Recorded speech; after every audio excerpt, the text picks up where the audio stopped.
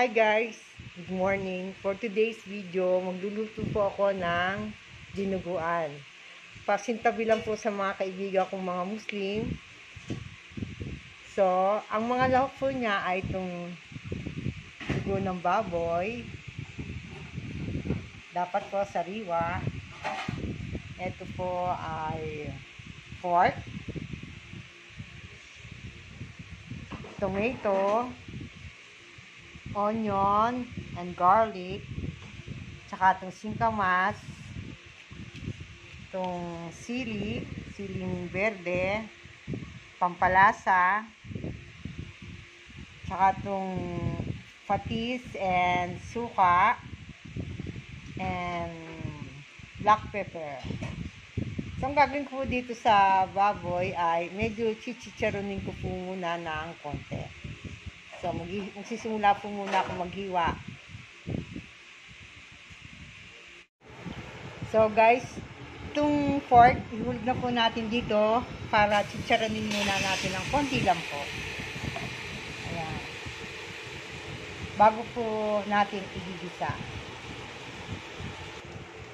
So, guys, itong aking chinichicharo na baboy ay lagyan natin po ng konting asin. Para pag nagchicharon siya ng konti, may lasa na po siya. Ayan. So, takpan po uli natin. So, nakikita niyo po itong dugo buo, buo oh. So, ang gagawin po natin, malinis na itong kamay ko, so dudurugin ko po. Yan, oh. Ay, itong milansik.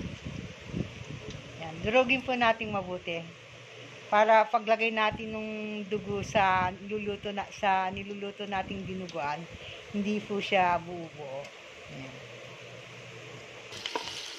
So, patay na po natin at nagsister na po siya. So, ang gagawin ko po, ahonin ko muna po siya itong aking chinicharong baboy. Dito na rin po ako magigisa kasi masarap yung ano eh, sayang yung pinaka ano niya, lasa. May mga juices, Oo. dagdag pampalasa din. Ito, ito yung nahabol ko eh. So, lagyan na po natin siya ng mantika. Mm. So, maglagay na po tayo ng oil.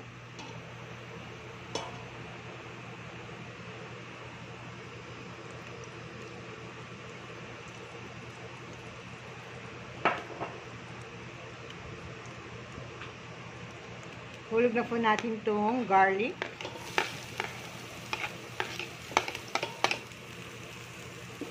Istay po natin.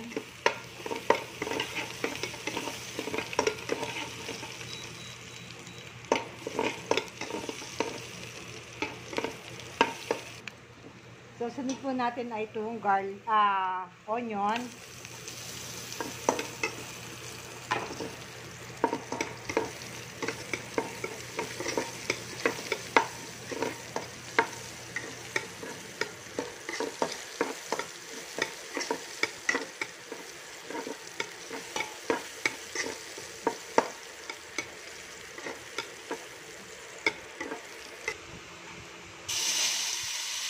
So, tomato.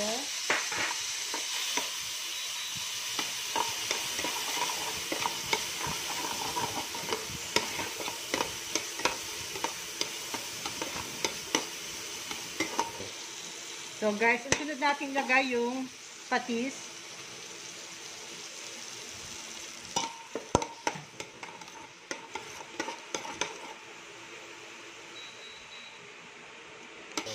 Dahil ano na yung tomato, ihulog na po natin tong pork and singkamas.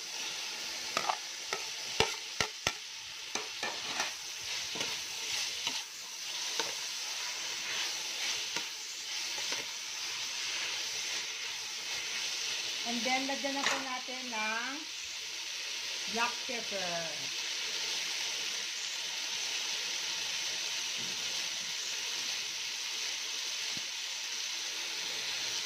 Dagdagan natin.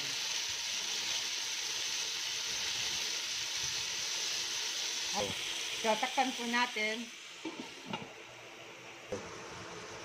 So, lagyan po natin ng ano, konting magic sarap lang.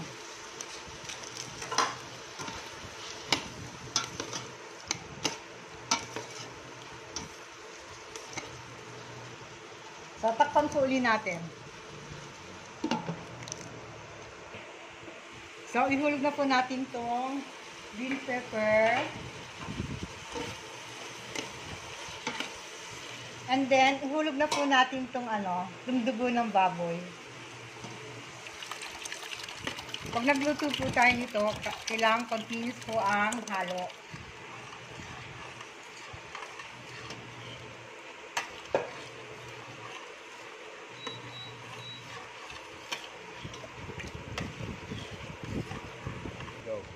Ang susunod nating ilagay ay ang vinegar.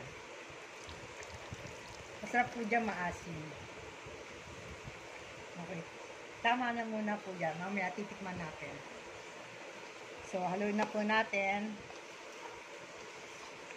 Yung, nung araw, ang nilalagay po ng nanay ko sa dinuguan ay labanos.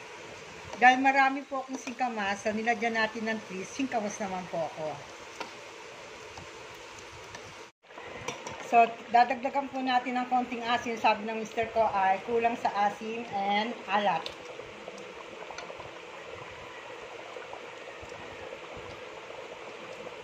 Gusto ko dyan medyo maasim.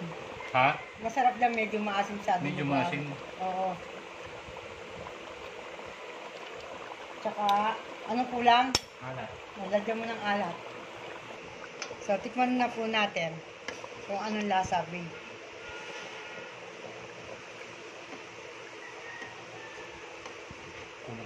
Kulang sa? Asim at saka alat. Okay.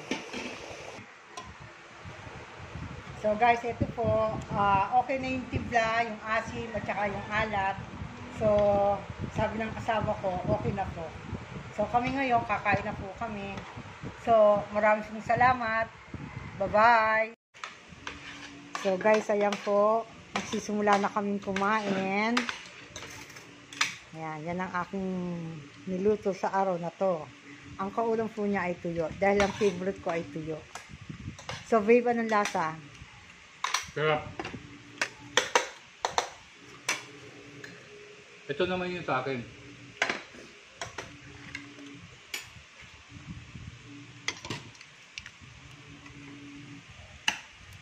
Papakita ko. So guys, oh. Ito yung sa akin. Ito, chili. Yan ang katambal ng aking dinuguan. See? Sarap, sarap guys.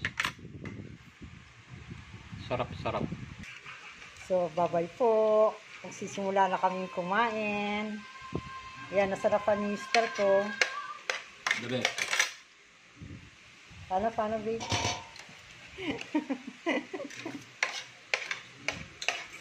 Yan, ganyan kami kumain. Nasa mesa na namin lahat ng kaldero.